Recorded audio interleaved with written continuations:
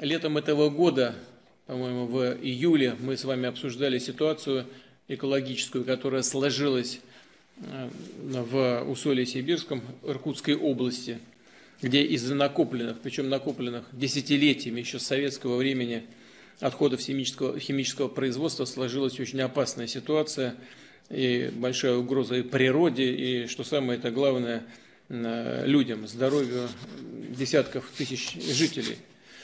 Причем не только самого города, но и но и прилегающих территорий, прилегающих населенных пунктов. Масштаб проблемы потребовал оперативного подключения и федеральных органов власти. По итогам совещания мы тогда с вами приняли ряд решений, и как неотложного, так и системного, долгосрочного характера. Прежде всего, должны были быть реализованы меры, связанные с обезвреживанием опасных объектов и защитой людей, обеспечением бесперебойной работы систем городского хозяйства, сохранением занятости для работающих э, здесь, э, на этой территории предпринимателей, ну и просто работников, граждан, которые проживают. Затем, как мы и договаривались, необходимо будет провести плотную работу, такую серьезную работу по слаженную по ликвидации опасных объектов, качественную, качественную очистку необходимо будет и рекультивацию загрязненных земель и водных источников. И, э, что принципиально важно, сформировать условия для устойчивого, долгосрочного социально-экономического развития города э, Усолья-Сибирского. Для реализации всех этих задач создана межведомственная рабочая группа во главе с Викторией Валерьевной Абрамченко. Мобилизованы силы и ресурсы Минобороны, МЧС, привлечена и Росгвардия для охраны объектов утверждена дорожная карта по обезвреживанию опасных химикатов аварийных объектов хранения. Были предусмотрены в бюджете необходимые денежные средства, ресурсы. Ключевая роль в ликвидации всего накопленного вреда возложена на Росатом. Вот здесь поэтому мне присутствует э, вместе со мной в кабинете руководителя Росатома. Э, Росатом, который с учетом его опыта и уникальных компетенций получил полномочия единственного поставщика по всем работам в Усолье Сибирском. Мы с вами сегодня и встречаемся в таком формате именно потому, что я нахожусь э, вместе с коллегами на, на одном из объектов, одном из важнейших и крупнейших объектов Росатома. Хотел бы повторить, мы не должны ограничиваться только обеззараживанием территории, Э, в усолье Сибирского, э, точнее объекты на, на усолье Сибирском, в усолье Сибирском. Знаю, что в планах госкорпорации Росатом создание современного экологического производства промышленного комплекса, производственного промышленного комплекса, который позволит открыть современные предприятия и создать новые хорошие, оплач, хорошо оплачиваемые рабочие места для людей, которые проживают в этом районе. В целом это должно придать развитию усолья Сибирского нового такого серьезного импульса. Хотел бы еще раз подчеркнуть, что э, мы все, все, кто присутствует сегодня на нашем совещании, должны держать эту ситуацию под э, постоянным личным контролем и намерен и сам это то же самое делать. Потому что ситуация, она неординарная. Э, мне э, практически каждый из вас – Э, по своей линии докладывал, что там происходит. Это очень серьезная ситуация. И, и просто так нельзя к этому проекту относиться как а, к какому-то обычному текущему делу и к текущей работе. А, хотел бы сегодня услышать от вас, как идет работа на данный момент времени, а также какие дополнительные меры вы считаете нужно предпринять для того, чтобы все задачи, которые мы перед собой ставим, были решены. Пожалуйста, давайте начнем.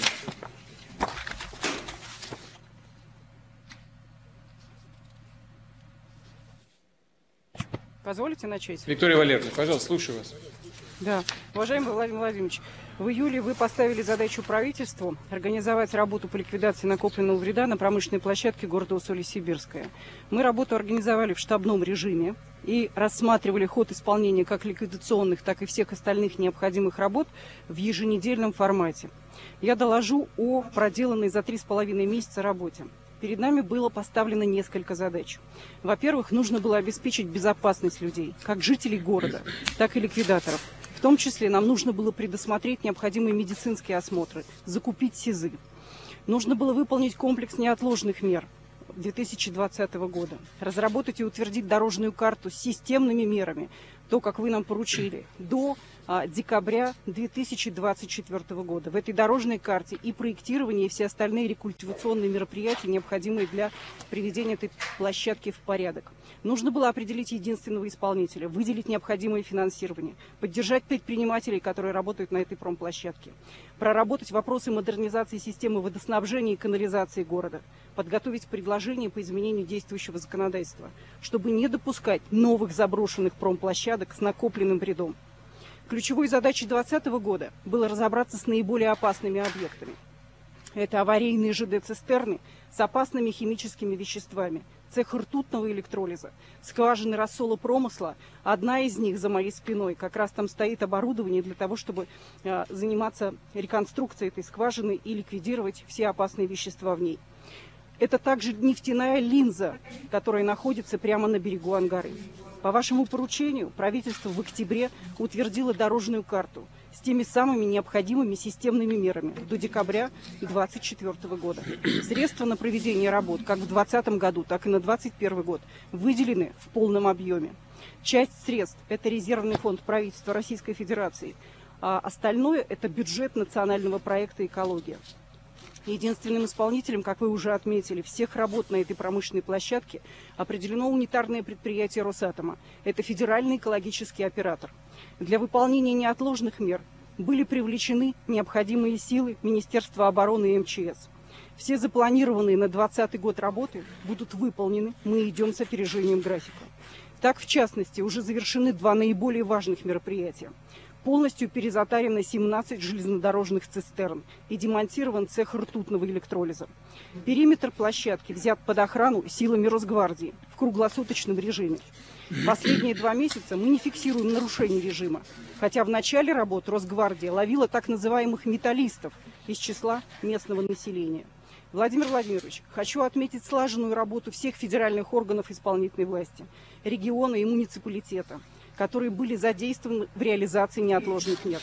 В первую очередь я хочу поблагодарить коллег из Министерства обороны и Министерства по чрезвычайным ситуациям, и лично Сергея Кужугетовича и Евгения Николаевича. Коллеги сами занимались непосредственно этим вопросом и приложили немало сил.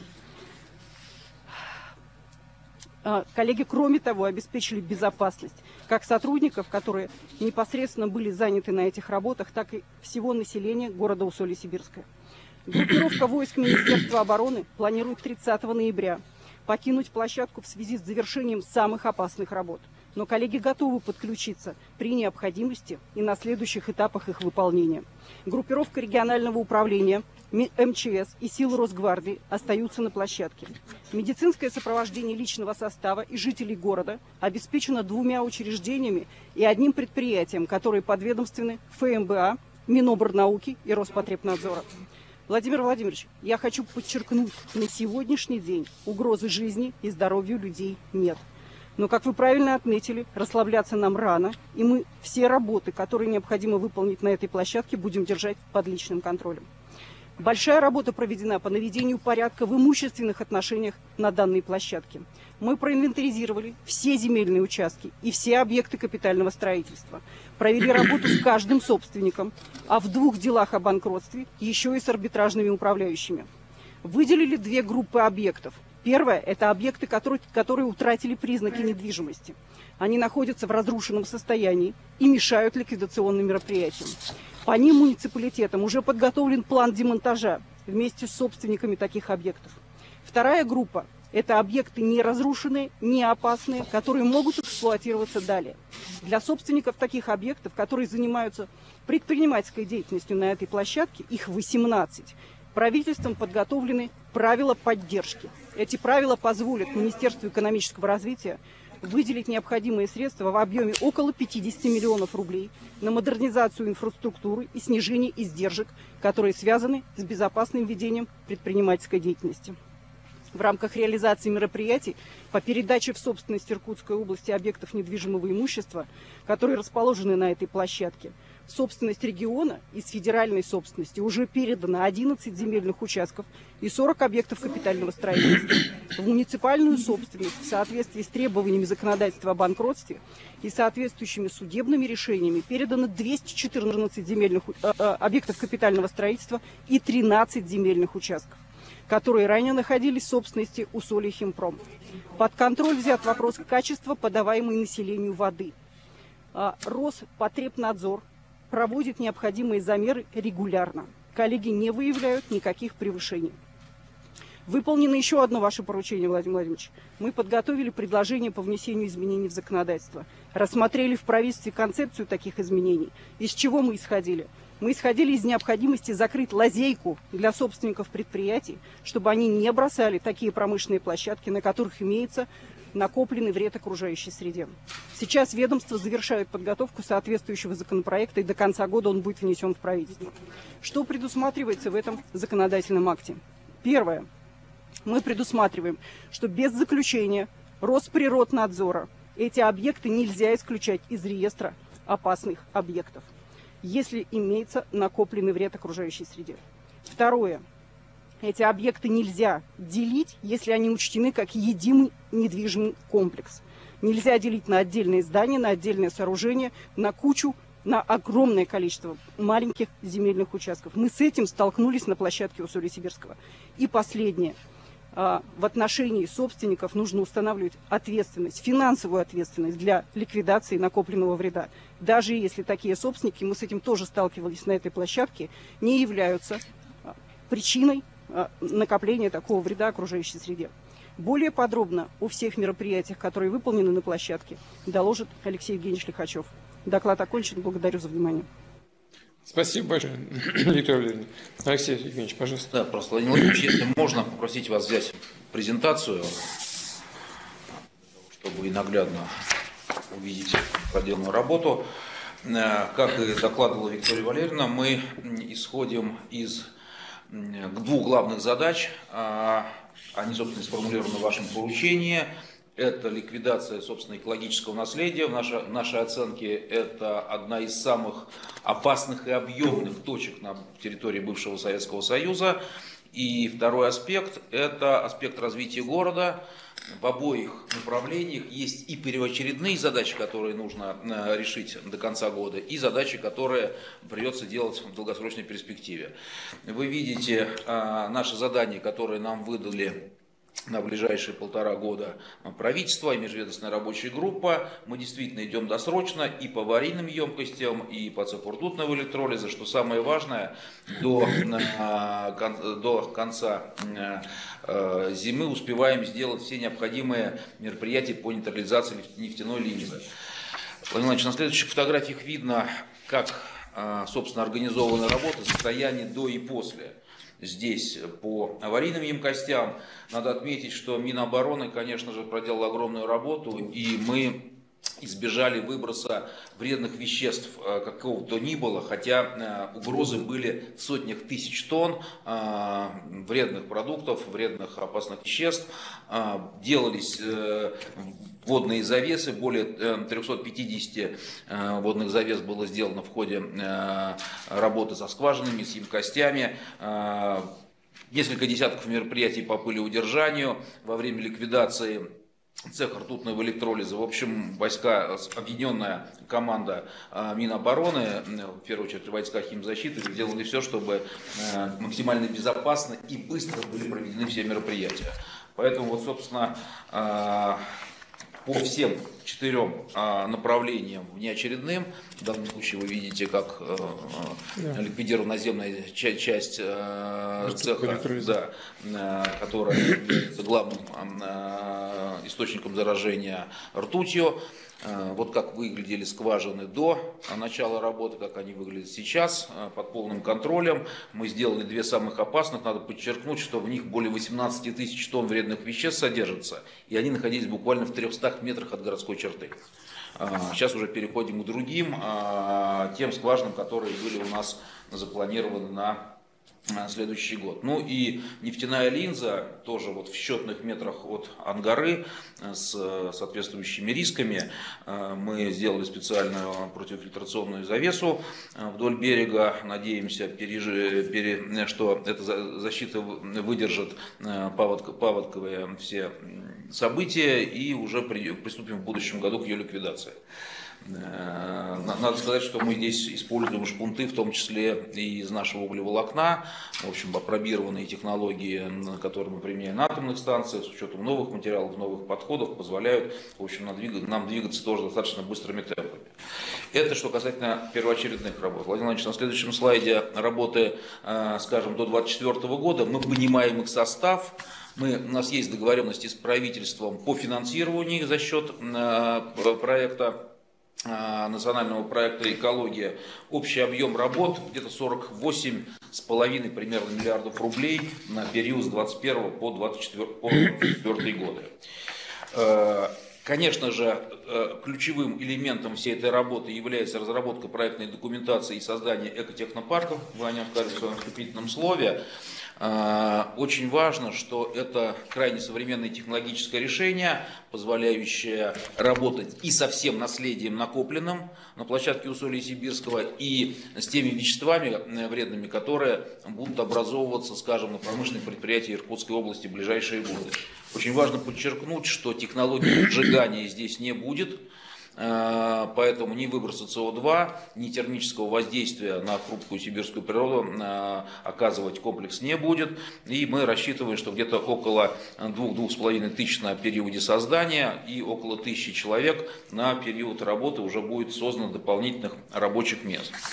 Владимир Владимирович, хотел бы особо отметить ваше поручение в работе с населением э, по информированию, потому что, конечно, тревога у населения была большая.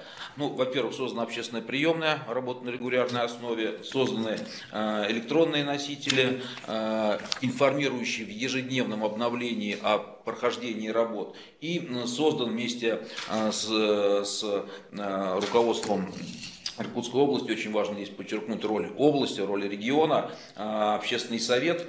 А, в него вошли представители общественных организаций, экологи. Он работает под кураторством Общественной палаты Российской Федерации. И последнее заседание совета буквально прошло на этой неделе. Очень высокий интерес а, у общественности, у населения проведению работы. Но мне кажется, все-таки мы максимально открыто действуем, и такая тревога, она сменяется, в общем, пониманием того, что эта задача будет решена. Но можно сказать, что только за последний месяц на наших электронных носителях было около 800 тысяч просмотров. Ну и задача развития.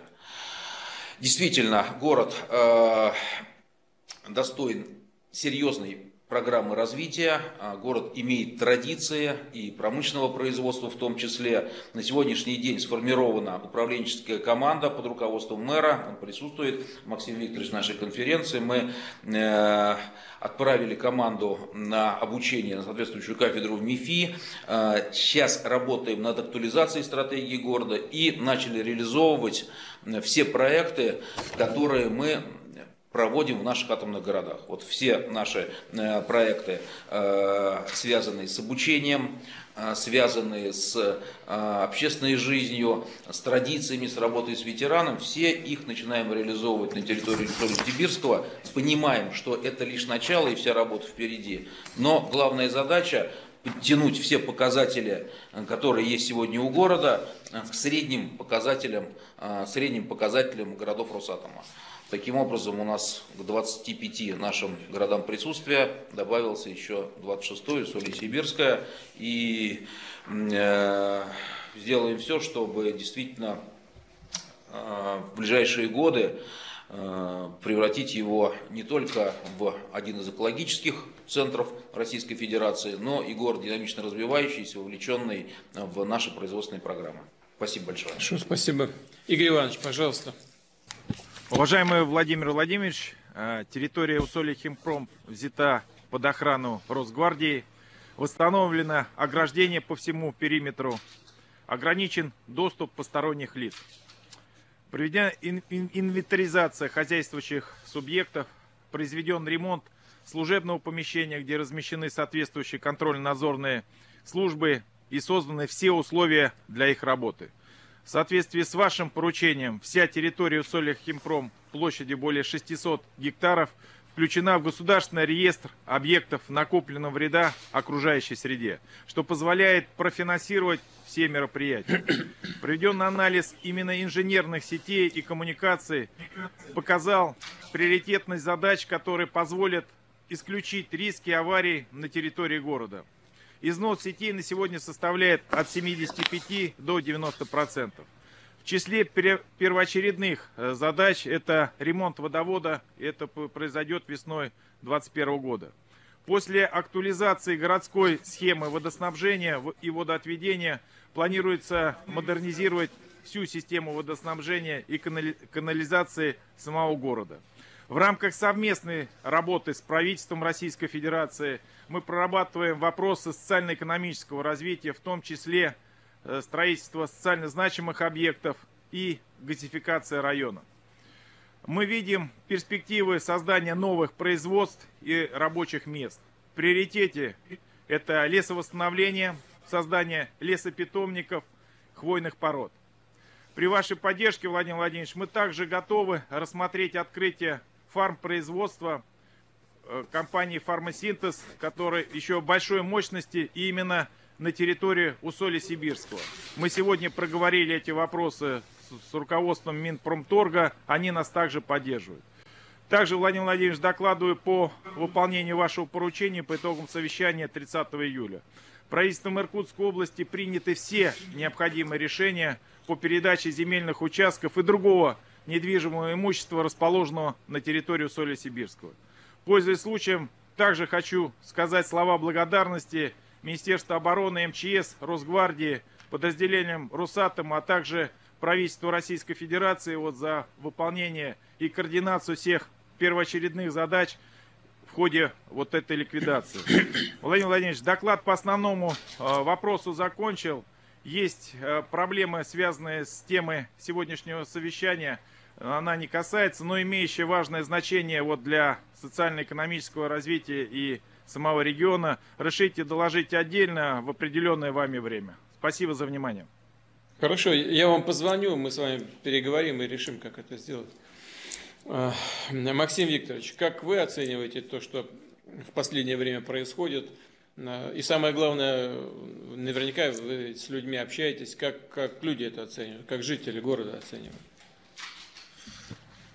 Уважаемый Владимир Владимирович, Выражение «экологический кризис» усольчане знают не понаслышке. Опасные ситуации, выбросы вредных веществ на промплощадке бывшего градообразующего предприятия обсходили на протяжении многих лет на наших глазах. Э, сложные экологические условия в течение десятилетий отражались не только на окружающей среде, но и на здоровье населения. Сегодня ситуация кардинально изменилась. Каждый день мы видим, как меняется территория Усолья Химпрома, как она становится более безопаснее для жителей нашего города. Важно, что усольчане понимают, что власть их слышит. Все, что делается на территории промзоны, ежедневно доводится до населения через средства массовой информации. А, официальные группы в соцсетях, экологический совет Иркутской области, в которые входят э, почетные граждане города, заслуженные работники химической промышленности региона. Такой подход позволяет жителям области и города понять и вникнуть в идеологию э, в целом национального проекта. Безусловно, прекращение деятельности городообразующего предприятия оказало существенное негативное влияние на социально-экономическое положение города. Десятилетиями у нас практически ничего не строилось. Без крупных государственных и частных инвестиций – кардинально переломить ситуацию будет нереально. Городу нужны новые детские сады, школы, модернизация коммунальной инфраструктуры. Усолье-Сибирска и его жители пережили времена упадка и сегодня надеются на самом деле обрести новый импульс в развитии города благодаря крупному инвестору, возможно, даже из химической отрасли. Как говорят сейчас мои земляки, Владимир Владимирович, если в небольшом городе со славным прошлым вновь появится градообразующее предприятие, то у нас все еще впереди. При этом отмечу, что уровень социального оптимизма у жителей Усолья-Сибирска достаточно высок. И он будет расти по мере того, как в городе станут заметны социально-экономические изменения, связанные с повышением качества дорог, городских коммуникаций, строительством социальных объектов. Сегодня мы говорим о том, что в 2020 году проделана большая работа в части решения первоочередных экологических проблем. За этот период администрации города совместно с федеральным центром удалось выстроить открытый и конструктивный диалог в рамках работы по ликвидации опасных объектов. Это позволило нам рассмотреть проблемы муниципалитета под разными углами, найти новые пути решения в вопросах охраны окружающей среды и навести планы на дальнейшее развитие города. Уважаемый Владимир Владимирович, от всех жителей города Усолья-Сибирска хочу поблагодарить вас лично и всех, кто принимает участие в судьбе и возрождении нашего города. Спасибо большое за проделанную работу. Ну, еще, конечно же, много предстоит сделать. Спасибо, Спасибо большое. Спасибо большое. Надеюсь, я сейчас скажу в завершении, что я по этому поводу думаю и на что рассчитываю. Но хочу обратиться к другим участникам э, нашего совещания. Сергей Кужугетович, к вам и Евгений Николаевич, к вам. Есть ли у вас э, необходимость что-то добавить или как-то прокомментировать то, что сейчас было сказано коллегами? Пожалуйста. Нет, спасибо, Владимир У нас э, что-либо добавить невозможно. Работаем слаженно под руководством руководителя рабочей группы. Э, так что у нас вопросов нет. Если появятся какие-то дополнительные задачи, мы с своими задачами закончили в этом сезоне, во всяком случае, и сейчас войска убывают в места постоянной дислокации. Я думаю, что а, весной, наверное, наверное, опять появится работа, так что мы готовы. Спасибо. Евгений Николаевич. Нет, Владимир, вопросов нет. Работаем в соответствии с э, разработанной дорожной картой. Вопросов нет. Хорошо. Ладно, понял.